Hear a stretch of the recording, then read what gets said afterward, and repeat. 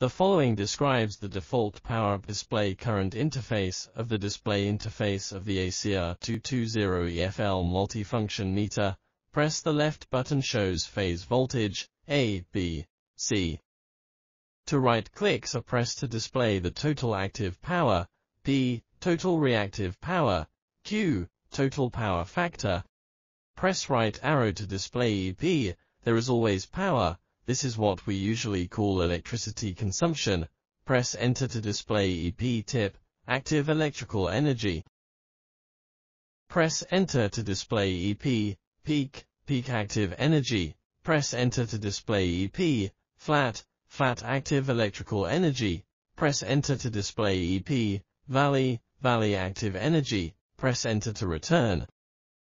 Press the right button to display the EQ, total reactive power, press the right button to display EP02, last month active energy, press enter to display the EP02 tip, last month tip active energy.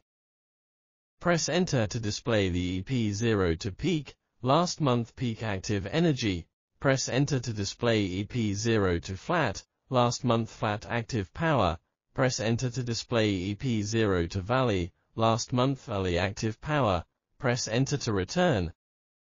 Press Set to toggle to display the previous 12 months of active energy. Right-click to display the demand and time. Press right button to display EP03, this month active power. Press Enter to display EP03 tip, this month tip active energy. Press Enter to display EP03 peak, this month peak active energy. Press enter to display EP03 flat, this month flat active energy. Press enter to display EP03 valley, this month valley active energy. Press enter to return. Press the right button to display the time and date.